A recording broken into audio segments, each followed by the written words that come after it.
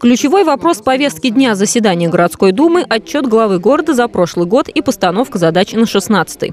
Несмотря на неблагоприятную экономическую ситуацию, в Самаре показатели не снижаются. И по промышленным гигантам, и по малым предприятиям. Сохраняются высокие темпы строительства жилья, пополняется парк общественного транспорта. Власти приводят в порядок сферу ЖКХ. К работе приступили три муниципальные управляющие компании.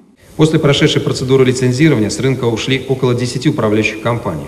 Кроме того, мы установили для управляющих компаний новые нормативы по содержанию придомовых территорий. Эти нормативы, я напомню, не менялись на протяжении 20 лет.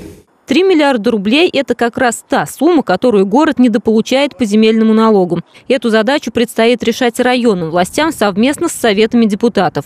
Зачастую элитное жилье облагается так же, как сараи на пустырях. А деньги городу нужны, особенно в преддверии чемпионата мира по футболу. Самаре нужно отремонтировать 400 фасадов в исторической части. Что не успеет сделать город, помогут спонсоры и меценаты. В этом году началась реализация программы «Цветущая Самара».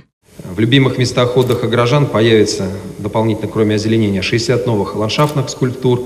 Будут высажены более 20 тысяч цветущих и декоративно-лиственных кустарников. В два раза увеличится по сравнению с 2015 годом количество установленных на территории городского округа устройств для мобильного и вертикального озеленения. Работу в райсоветах необходимо активизировать. Об этом говорил и губернатор Николай Меркушкин. Необходимо, чтобы сами люди на местах решали многие вопросы. На самом деле, с учетом нашего потенциала, у нас денег было значительно больше на человека, чем в европейских странах у Самары, чем в европейских странах.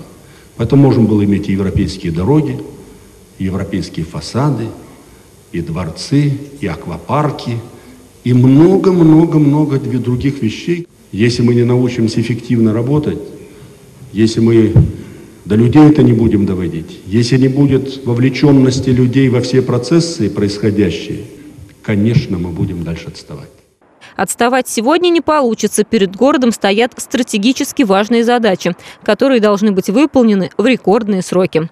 Марина Матвеевна, Олег Зверев, Артем Сулайманов. События.